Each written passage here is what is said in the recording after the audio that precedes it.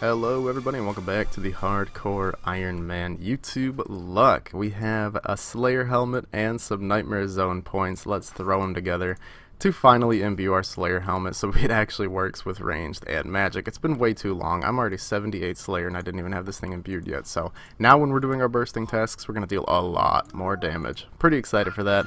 Not looking forward to coming back to Nightmare Zone to imbue everything else though. I really don't like this place. Okay, Hespori kill count 24. We're getting out there with the big boy numbers, and we got something good coming this kill, even if the loot is garbage. 84 farming. Oh my god, after like 4,000 hours of doing these jungles, we got the gout tuber. Oh my god, let's eat it. Let's eat it. Oh my god, you have no idea how relieved I am that I got this stupid gout tuber. Okay, so I think I just talked to him, ask him what he does here. Yes, I'd like to have a machete. Give me the Jade Machete, my friend. Order it. And uh, there we go. We have the Jade Machete and all of the easy, medium, and hard tasks in Karamja. I am so unbelievably happy right now.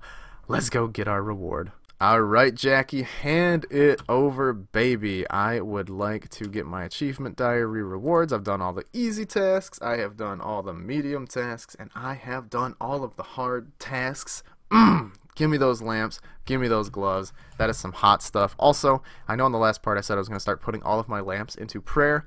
I'm already taking it back. I'm starting to put them in Herblore again. Get triggered, EHP nerds.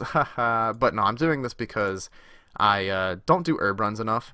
Like, I probably only do like three or four herb runs a day. And for Herblore to be more efficient than prayer, you have to be doing herb runs like all the time. So I'm just going to keep putting in an Herblore. I mean, I kill a lot of dragons, so we should have 99 anyways. You know, I just completely forgot to talk about the rewards for the diary. I got so excited talking about prayer training. Um, we could teleport straight to the gem mine in Shilo Village now, which is an amazing teleport because these are a great way to gather gems for making jewelry, especially bracelets of slaughter and expeditious bracelets, but it's also a teleport straight into Shilo Village, which means that I can start getting tasks from Duradel, since it won't take me about 46 hours to get to him now. Yay. You know, I know it's not going to be an imbued heart or anything, but every time I get one of these, I got to show it off, you know what I'm saying? I mean, that is just... That's just so nice. Hey, another strength level 91 strength. I could say thank you to Nightmare Zone for pretty much all that experience because I gained like well over half a million strength XP, I think, at Nightmare Zone going for my Slayer helmet. So thank you very much, AFK Escape. Almost out of charges on the good old Xeric's Talisman, so I went and got another. And I actually did the Stone Chest method. Uh, if you guys don't know what that is, I might be making a guide on it in the future, but basically, you go just south from the Farming Guild, go down here, then go right here, and there's some stone chests you can thieve from if you have, I think, 64 thieving. And uh, 1 in 300 chance to get this, 1 in 150 if you have the easy Kebos Diary done. So there's 114 more Lizardman Fangs. Only took me like 10 or 15 minutes to get one, so I like doing this way better than the Lizardmen, honestly. Here it comes, the Ranger Boots. Let's get it! Oh, two green Dragonhide bodies. I bet if I could disassemble these into just normal Dragonhide, I could, you know, stitch some Ranger boots together. I'm not going to start the Ranger boot grind officially here, but I have started going to Puro Puro a little bit and getting Eclectic Imps uh, to do a couple medium clues because I've heard it's pretty decent. It's not that hard from what I've done so far, so we might actually go for a couple mediums here. Zammy Page, oh my god, and a trimmed Addy Kite Shield. There goes my bank space. But uh, let's see if this is a unique Zammy Page. That would be absolutely incredible. Let's check it. Come on, please. We've already got two Zammy pages. And Oh my god, three Zammy pages already? Oh my lord. We only need Zammy page 2 and we'll have the finished book. That's pretty insane. Thank you very much, Donovan, for the Firelighters, yew Shortbow, and Amulet of Power. Wow, buddy. That is medium clue from a Dagannoth task, actually. And we got ourselves a white boater. Look at that fashion. Mm. I just turned all of our mithril bars ah. into mithril dart tips. We've got 21,000 of them now, which is just over 200k fletching XP waiting to be made. So next time I do some agility, these bad boys are getting turned into XP. Since we hit 72 mining recently, it is time to pay this absolutely thick individual right here 100 of my beautiful golden nuggets to gain the ability to climb up this ladder, which... Sounds silly, but the upper level is actually much better than mining on the lower level, as you can tell by the sheer amount of people up here. Holy moly, we are going to have to hop worlds. Yes, Hespori, die, die, mwahaha. 25 kill count, what are we going to get? Let's get ourselves a Celastrus Seed. That's some free money in the future. I'm actually not complaining. Just one more farming level, actually.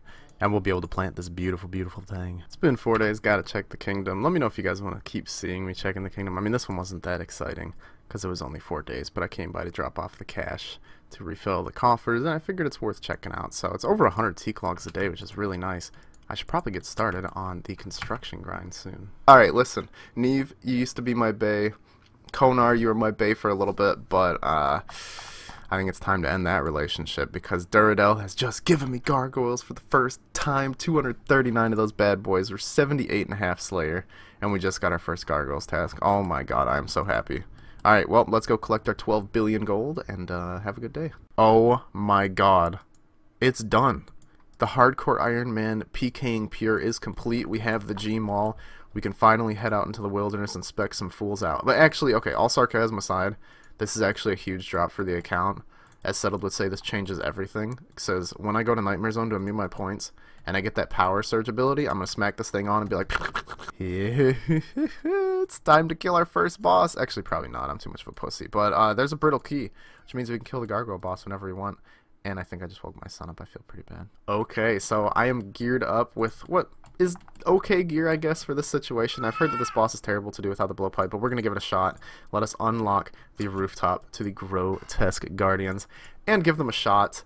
Um, I'm not going to like risk it too bad. If I think I'm about to die, I'm teleporting out. I am not risking that at all. Got a decent bit of food, some Sarah brews. Alright, we're going to kick this boss's ass. Let's go.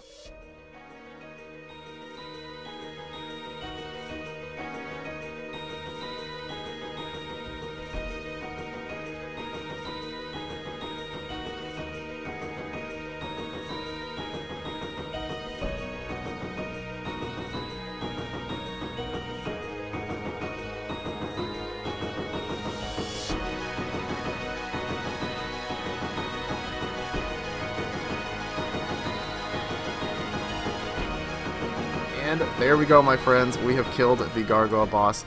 Only took four minutes to kill these things. Oh my god. Uh, really good drop for the first kill. Wow, Dragon Dart Tips.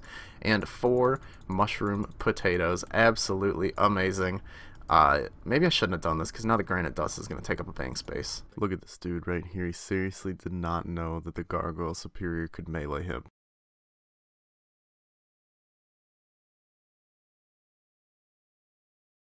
Finally, we can get our revenge on the Gargoyle Superior unless we get hit by the magic attack, and we're good. Smash that idiot and nab ourselves uh, some steel bars. That was worth it. That was very worth it. Let's go. Ah, oh, our first gargoyle task is finished. I wish it was longer. I wish the gargoyle task would just never end because you get so much money. You get so much gold ore, which is going to help with smithing. I mean, look at this money.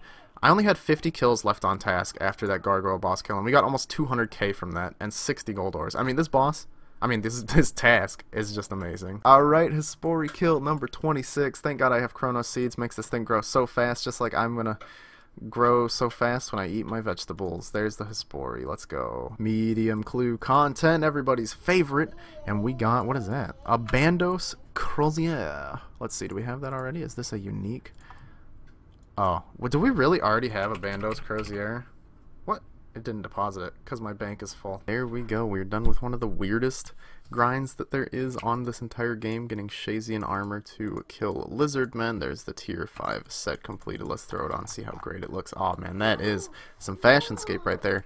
If you can't tell already, I am planning on starting Lizard Man Shamans pretty soon. We do need a few more pieces of gear, and I really want to get the Kebos and Kourend Hard Diary completed. The only thing standing in our way is 70 smithing, and we are 63, which is pretty close. And if I can somehow convince myself to do it, we could acquire a plus 5 boost. So I think I'm going to go level up my smithing a little bit. And there is one more thing I need to take care of, and that is getting a better ranged weapon. Not to diss the magic short bow, but I think a rune crossbow might be better. I'll look into it, but I can make a rune crossbow if I can get my hands on some rune limbs, which I think I can. There we go. Let me check exactly how many of these dragons we had to kill. Steel dragon. Nine of them. And we got the runite limbs, which means we can now make ourselves a rune crossbow. All we got to do is head back to the bank and get a yew log. There we go. We finished the homemade rune crossbow. My original plan was to go out in the wilderness and kill the crazy archaeologist for this this was a lot easier than risking the account in the wildy. Let's check it. Oh my god, that thing is sick.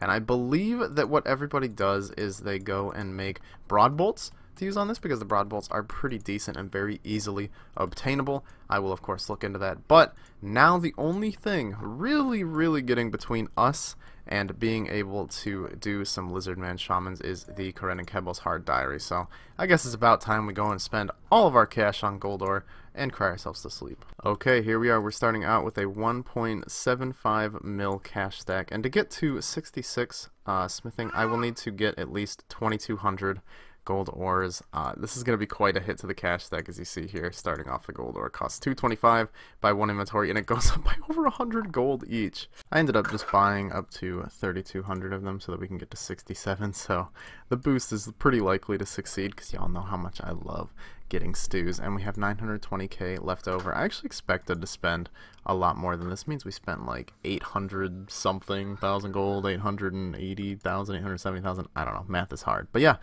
I guess I'm about to turn all this into gold bars. So, since I do have some mithril ore from that gargoyles task, I figure I might as well do it while I'm doing the gold. So the method is just keep the coal bag on me.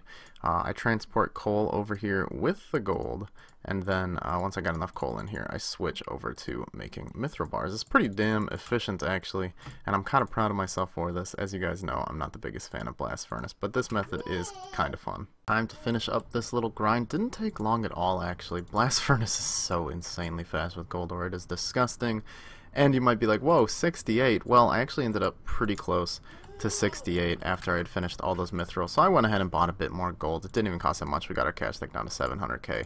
But yeah, there we are. We're done. 500 gold bars and five our 5,000 gold bars, 500 mithril bars. Looking pretty sweet. And now we only need a plus 2 boost to get the diary done. So that's way easier. Okay, I've got a lot of orange spice. There's no way this fails. Did we get the smithing boost first try? No. Okay, now I'm really terrified. You know, this could go wrong. All of these could be bad you know, they might just all we got plus one. Okay, this is this is not good. This is why I don't like doing spicy stew boosting. It's just stupid. It's just stupid. How do we fail to get a plus two boost three times in a row with three spices? Come on, please. You've got to be joking me. Dude, I'm on the verge. I'm on the verge of quitting this game. This is not happening. Please? Please? Oh my god, it went down, and I didn't bring restore potions. Okay. Okay. I'm stressing out, man. Last one. Please, for the love of God, man. That drained by four. Are you fucking joking me?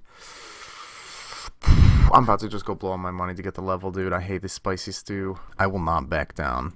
I will not be defeated. I got lots more stews to be made here. We got another plus one boost. That is unfortunate, but we will power through it because we got the boost we needed. Let's make that stupid bar. Let's get that stupid task done. And I've got a huge stupid smile on my face. Now we only have one task left in the diary, and that is to kill a Lizardman Shaman. So we need to get Broad Bolts for our uh, rune crossbow here, which means I'm going to have to drop 300 points on uh, unlocking the broader fletching, which is fine because I needed to do it eventually anyways because that's how I plan to get 99 fletching. But now I also need to drop 75 points to unlock Lizardmen, which is not too bad. It puts me down to 161 points, which is more than enough to skip, and I am almost on my 10th task, which, you know, I'll do at Konar and get like a freaking 10 million points. So let's go buy some unfinished broad arrows, broad bolts I mean, and uh, see if we can make those into some bolts. Okay, no way. I did not know this actually. I thought that you would click these and boom, it would come up with the make all menu, but nah. It works just like feathering dart tips. That is super interesting actually. Well, means I'll be able to get them done faster, at least I'm not complaining. Alright, here we are to kill the lizard men. Look at this beastly gear right here. It has been a while since I've killed a Lizardman Shaman outside of raids, so I don't really recall 100% how they work, but I'm pretty sure if I'm paying attention, and I don't do something really dumb, I won't die, so don't quote me on that. That was admittedly ridiculously easy. And there we go. We've completed all the hard tasks in Kourend and Kebos.